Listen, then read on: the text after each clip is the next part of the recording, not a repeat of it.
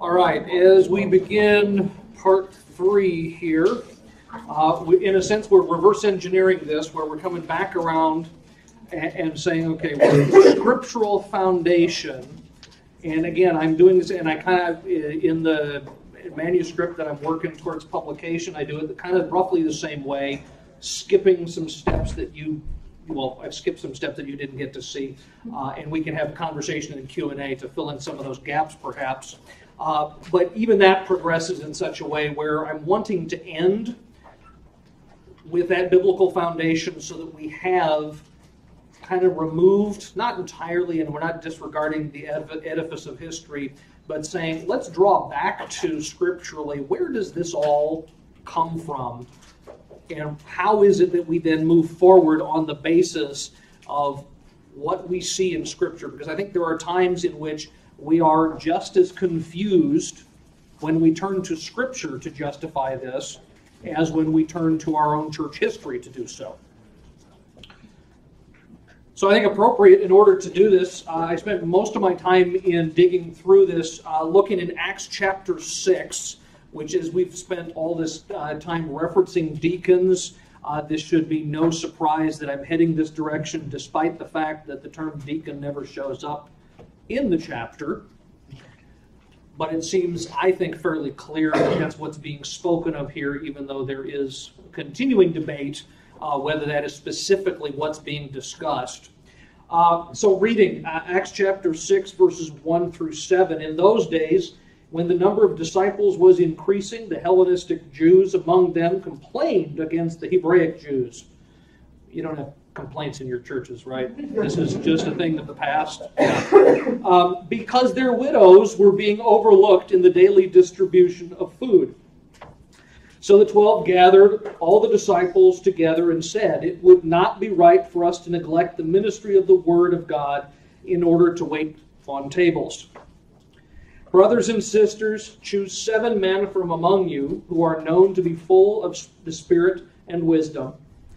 We will turn this responsibility over to them and will give our attention to prayer and the ministry of the word. This proposal pleased the whole group. They chose Stephen, a man full of faith and of the Holy Spirit, also Philip, Prochorus, Nicanor, Timon, Parmenas, See, I even butcher these things. So everybody, uh, be nice to your lay volunteers who read on Sunday mornings and just get those great passages and are wonderfully tongue-tied. Uh, Nicholas from Antioch, a convert to Judaism. They presented these men to the apostles who prayed and laid their hands on them. So the word of God spread. The number of disciples in Jerusalem increased rapidly, and a large number of priests became obedient to the faith. What are we to do with the recounting of a story such as this? How is this narrative to inform the practice of the church in the 21st century? Well, first of all, Acts is narrative history. Luke is attempting to provide for Theophilus a well, as well as centuries of readers since his time, an orderly account of first what took place in the life and ministry of Jesus of Nazareth, and second in the book we call Acts, an account of the growth and expansion of the early church through the ministry of the, apostle, the apostles. As a narrative, the passage under consideration ought to be given first as a recounting of what took place. Only once this is understood ought we attempt to derive principles for modern day application from the text. One cannot simply reduce a story such as this to an argument that the church ought to have deacons today, that they are cast in the same form as those established by the apostles. You can't simply transfer and transplant what's happening here. The modern church ought to first learn how the early church responded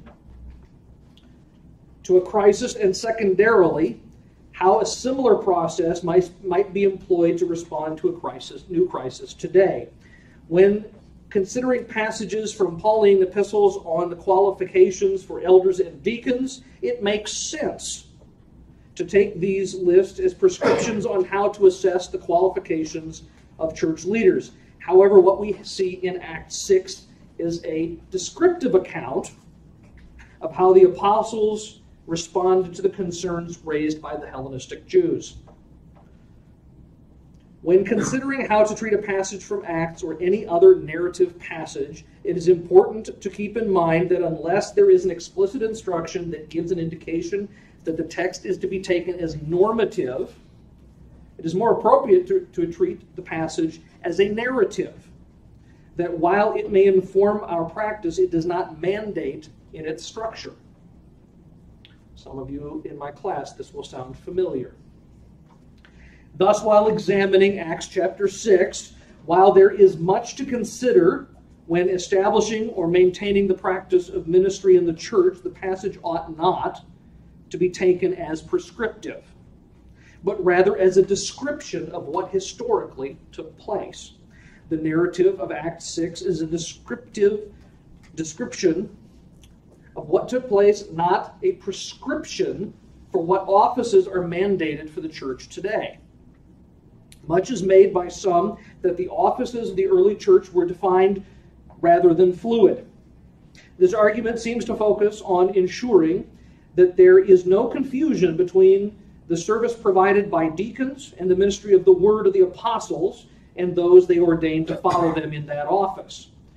The latter work of Stephen and Philip is seen as either evidence that they were transitioned into another office or a personal, non public ministry performed beyond their diaconal duties. Interesting arguments. The claim that taking on a more pastoral role would not have been part of their office and citing a lack of biblical evidence makes sense up to a point. However, this is an argument that works both for and against these claims. The lack of biblical evidence that deacons were called to do more than handling food distribution is accompanied by a similar lack of discussion on such a restriction. We are simply told what they were commissioned to do. It might make better logical sense to argue that since there is no corresponding description of an expansion of those duties, that therefore there must not have been, but this stops short of being entirely certain. We are dealing with competing arguments from silence and a lot of ink is spilled over staking claim on what's not said. Not good place to be marking your territory. We have Luke's description of the call of the deacons, along with his further description of the further ministry of Philip and Stephen. What we do not have is any direct explanation either way with respect to the nature of the authority by which they continued to serve the kingdom beyond the initial diaconal duties. Some further scriptural discussion. Paul in Ephesians 4:11 provides a list of offices from the early church. This list is at times argued to consist of a combination of offices no longer in existence today apostle and prophet, and those of the modern pastor, the evangelist, the shepherd, and teacher. Above, it was pointed out that the modern understanding of the teacher, even the Lutheran teacher, ought not to be obfuscated in such a way as to claim that the teacher in Ephesians is the classroom teacher and that these are in some case somehow the same office. What's being discussed in this passage is not a teacher in that sense. There is, however, a way of looking at the text and not having to either equivocate between the two entirely while still upholding a, a single office of public ministry. In the case where a local congregation is served by a single man as pastor, the entire office of public ministry resides in his office as pastor.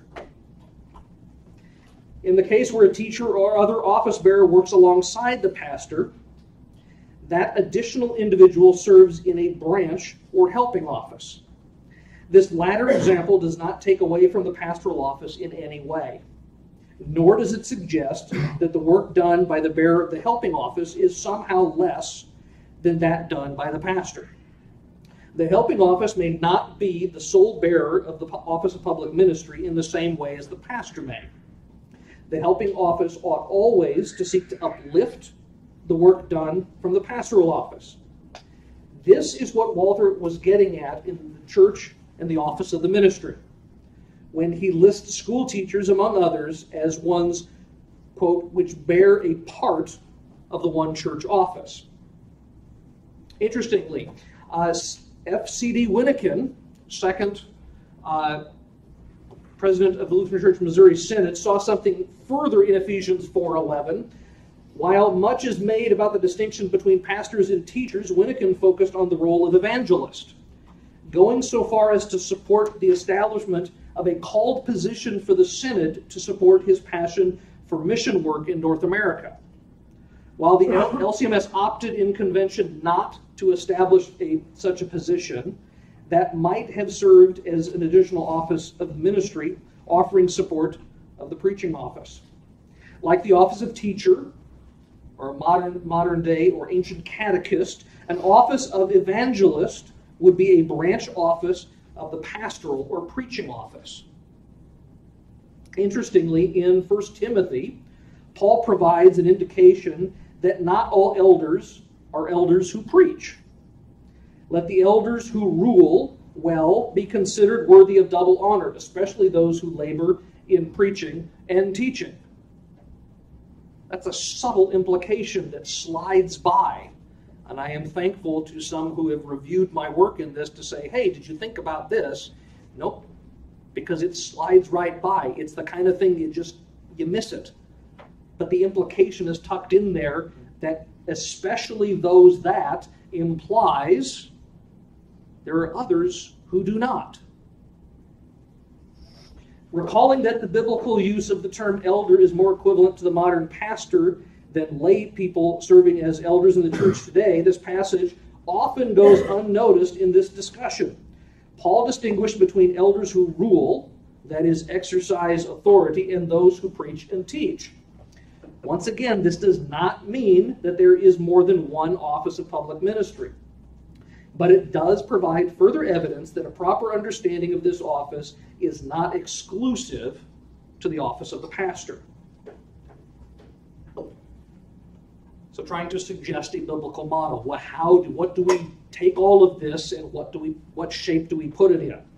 Rather than seeing what took place in Acts 6 and other passages as a prescription for the number and type of offices that the church is to have today, and keeping in mind that the, descript, the descriptive nature of the passage, Luke is providing an example for the church to follow.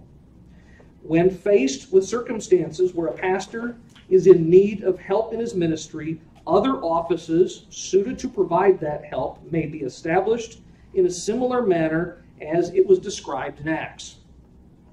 The list of offices from the New Testament, along with the description of the manner in which the apostles established the office of deacon, does not limit, it instructs. The church throughout history, and even today, must at times adapt in order to best respond to the needs of ministry in the local church as well as in the larger church body. Just as the apostles established the office of deacon to allow them to focus on the preaching of the gospel, the LCMS has established commission ministry roles, and congregations call individuals in a similar fashion for a similar purpose. Luther held that the church had the authority to establish these new offices. Again, he states, we even read in Acts regarding an even lesser office that the apostles were not permitted to institute persons as deacons without the knowledge and consent of the congregation. Rather, the congregation elected and called the seven deacons, and the apostles confirmed them. If then the apostles were not permitted to institute on their own authority, an office having to do only with the distribution of temporal food, how could we have dared to impose the highest office of preaching on anyone by their own power without the knowledge, will, and call of the congregation? Notice precisely where he's placing authority. The congregation, or as or in the sense we talk about the church as a church body, as a denomination, we make decisions together and say, there is a need. how shall we address this need? And so we institute and establish these branch offices. They are not lesser offices. They are not less divine. They are not less worthy of a call. They are, however, not equivalent to the pastoral office. And we can hold both of these things in tension. The establishment of deacons, though guided by the apostles, was done by the authority of the congregation assembled, not merely by the apostles. The structure and manner in which we organize those who serve in church ministry was not prescribed in total in the New Testament. The pastor is clearly identified and divinely established. The diaconate of the early church was established by the apostles through the guidance of the Holy Spirit and with the blessing of the church. You can have the bad joke here. Act 6, what takes place, the first voters' meeting. It went fairly well.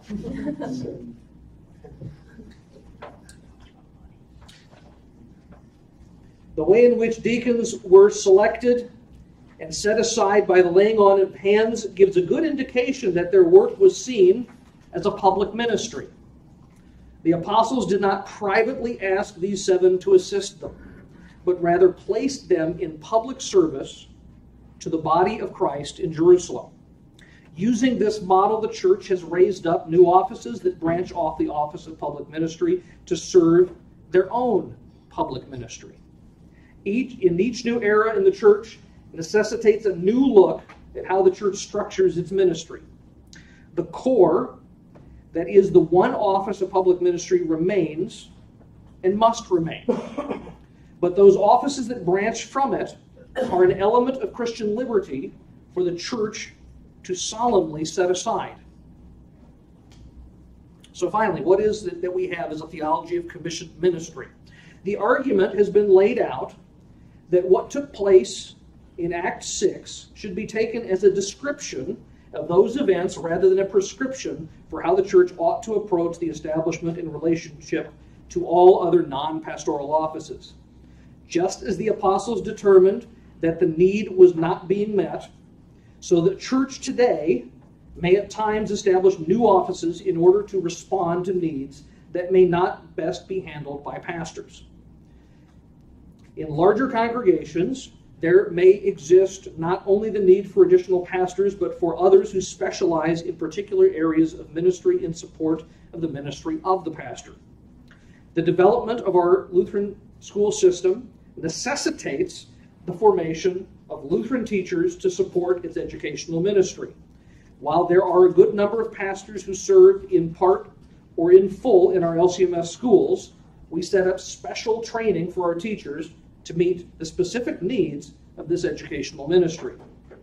This has taken place in each case and in each area where a commissioned office of commissioned ministry has been established.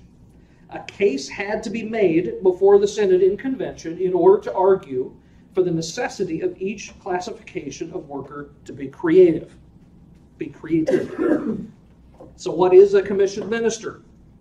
The proposed answer to the question stated above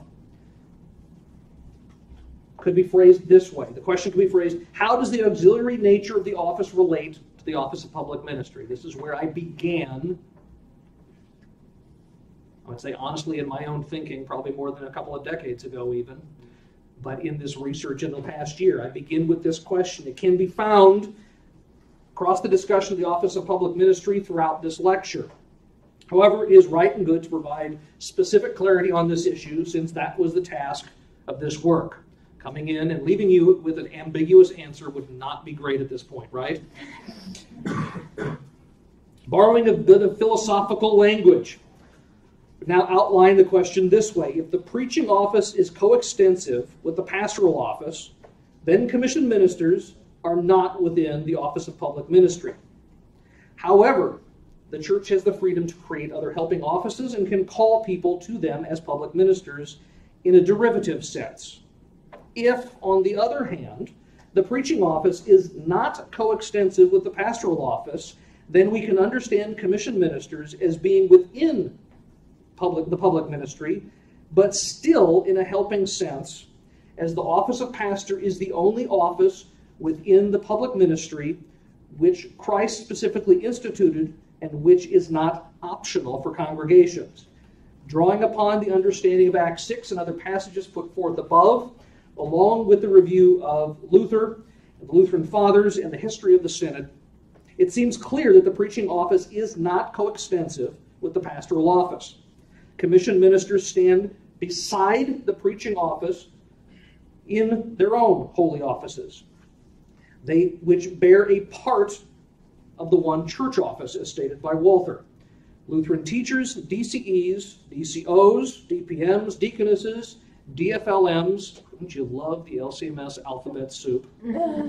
and called lay ministers are not a part of the laity.